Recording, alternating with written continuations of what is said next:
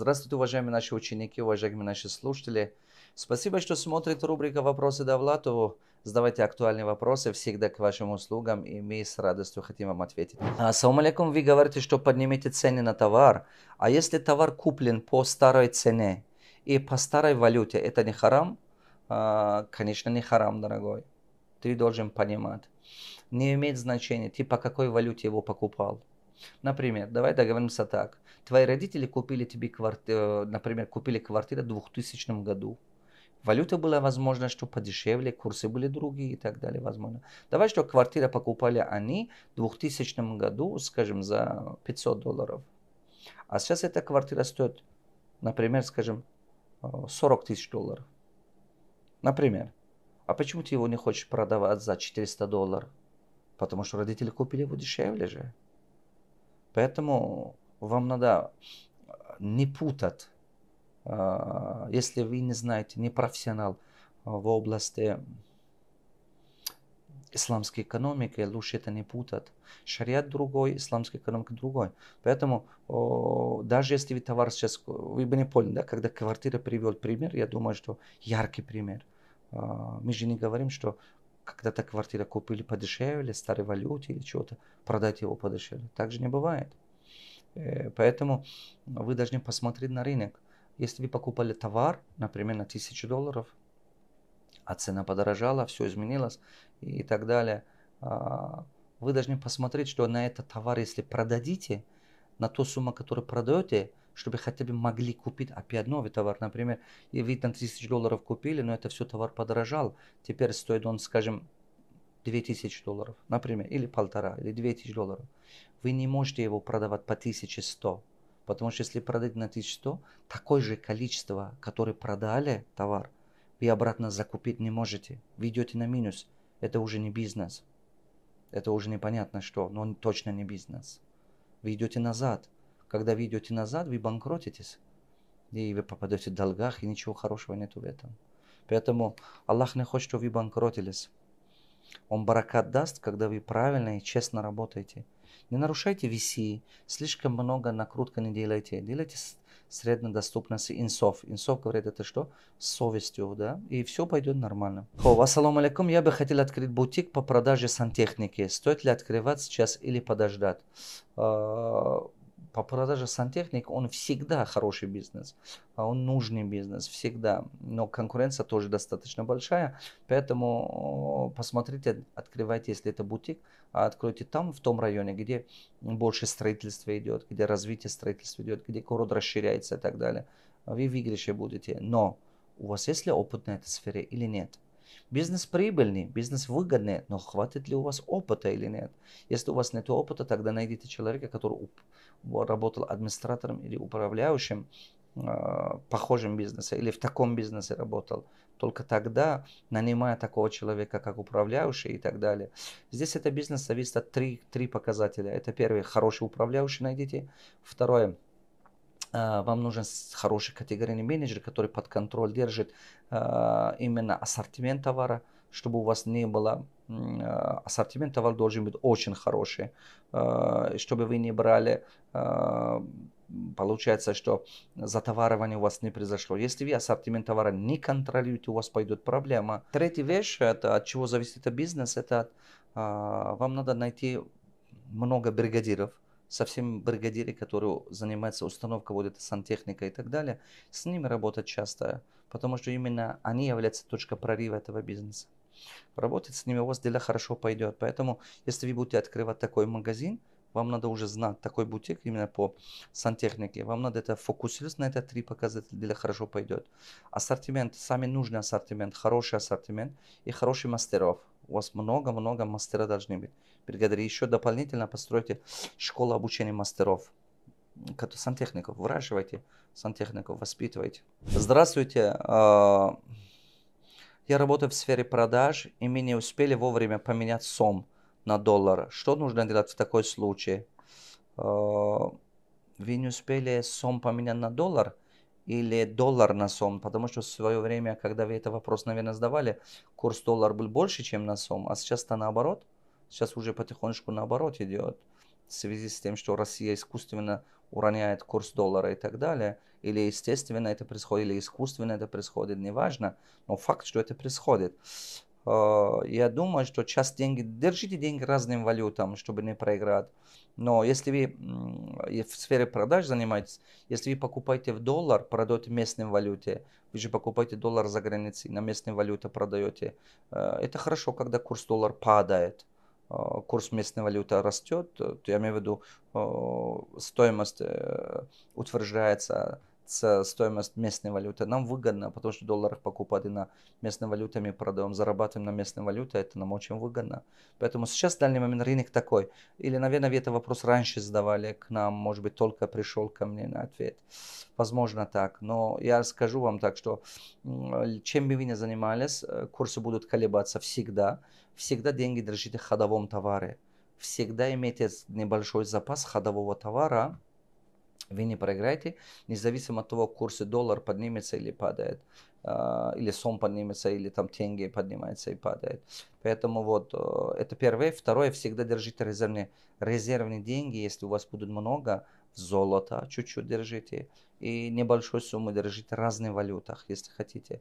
А сами выгодно держать в золоте. Золото всегда можно в бирже продавать, а, обналичивать э, в самом банке и использовать на какой валюте, которую вы хотите. Так будут вам выгодно. Здравствуйте, я сейчас занимаюсь поставками мяса для ресторана. В связи, э, в связи нынешней ситуации рестораны начали уменьшать закупы. А, обороты снизились. Планирую сам открыть точку недорогого общепита. Что посоветуете открывать сейчас и вкладывать деньги или все-таки продолжать торговлю мяса и расширять по возможности клиентскую базу? Спасибо вам за ответ. Дорогой мой, ты лучше э, расширяй географию расширяй географию, поиск клиентов, э, покупателей по мясу. Если ты занимаешься мясом, займись мясом. Продвигайся так. А я, э, когда у тебя уже дальше вообще никуда расширяться, или дальше, если ты по географии не хочешь расширяться, э, если ты найдешь себе партнера, или если покупаешь франшизу по закусочным, по фастфуд или кафе и так далее, только тогда открывай там закусочный или кафе или столовый или что-нибудь, ресторан. Но это надо в самом крайнем случае делать, потому что общепит это абсолютно другой бизнес, а поставка мяса совсем другой бизнес. Это два разных бизнеса. В общепите море нюансов. Мясо составляет всего один из составляющих ингредиента. Мясо не самое, э, то есть мясо не единственная вещь, которая а, на что держится бизнес общепит. Поэтому бизнес общепите мясо, он э, не так много роль играет, поверьте моим словам, там совсем другие вещи роль играют. Поэтому вот мой совет к вам. Лучше расширяйте свою географию, увеличивайте клиентскую базу поставки мяса. Займитесь этим. Здравствуйте, мой наставник, мой учитель. О, спасибо за такие приятные слова. Мне это очень приятно слышать. Вот, можем ли мы сфокусироваться на своих конкурентах в сфере строительных услуг, так как конкуренция возрастает еще больше, э, предоставит им уникальные предложения с услугой, применив стратегию и новейшую технологию, дать им шанс, что с ними мы, с ними им комфортнее, и они, уменьшив количество своих рабочих, зарабатывают на 25-30% больше, так как определенное количество работ выполним, выполним мы, а, возведение самого объекта в три раза быстрее и срок гарантии в три раза больше. Применив это, думаю, мы больше никогда не будем мучиться поиском новых клиентов, но вопрос, как все это сформировать, как преподнести, заранее благодарность с уважением команда. А, Макс Пол, спасибо. Спасибо вам. Большое вам спасибо. Это хорошая стратегия. Вообще это очень один из лучших стратегий, которые есть на рынке. Это когда э, конкурентов превращаешь в партнера.